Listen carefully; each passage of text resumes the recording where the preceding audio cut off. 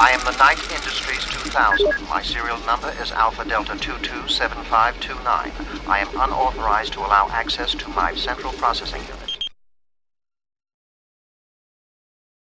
Michael, how do you intend to get us out of here? There's a rather large obstacle in our way.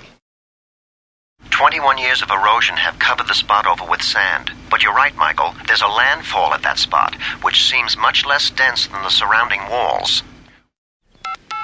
They're highly classified prototypes, Michael. The most sophisticated and lethal conventional weapons in the world today.